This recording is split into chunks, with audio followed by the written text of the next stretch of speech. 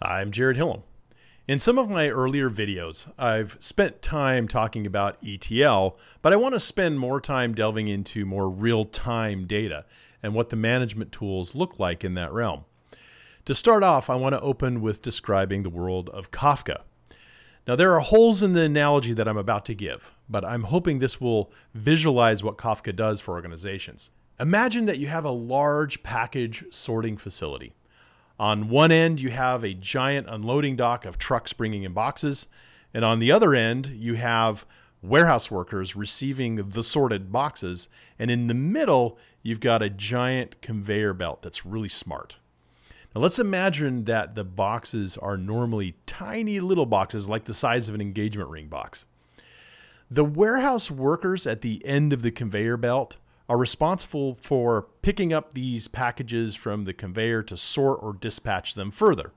Now, each worker might focus on a specific type of package or a certain destination.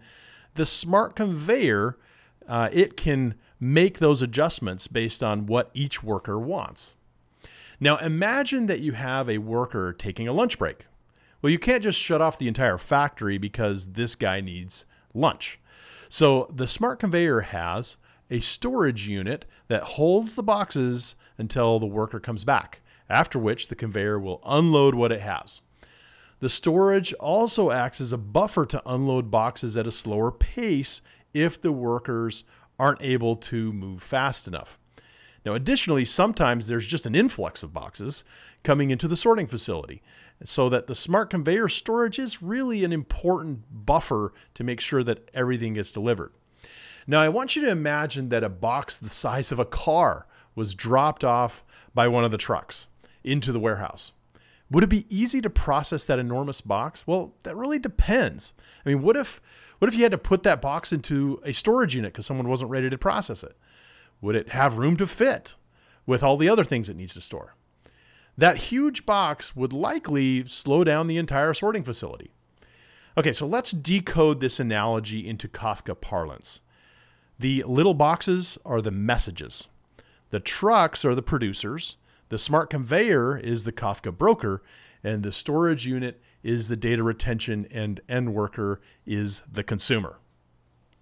Now, as with any analogy, there are holes. For example, the same message can be shared with multiple consumers. Also, Kafka has this ability to guarantee the order of the messages that follows a strict sequence, which is critical for applications and databases. Now, just like the scenario with the really large box, a Kafka service is usually not designed for large messages. So in Kafka, we usually have a size limitation that gets imposed to avoid bottlenecks. Additionally, we have to pay close attention to size the storage and retention policies in a Kafka deployment.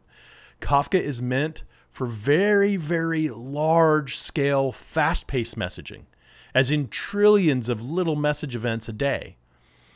That worker taking lunch in our analogy can be a consumer who has a hardware problem or an internet outage. The Kafka retention policy gracefully adapts to the inconsistency of consumers, allowing for outages and slow consumers or a large influx of messages from producers. We've written a small white paper on Kafka and how to leverage it in an enterprise at scale which I've included in the video description. Additionally, if you're working on making your organization work in real time, I recommend you reach out to Ness to talk with a specialist, and I've included a link for that as well.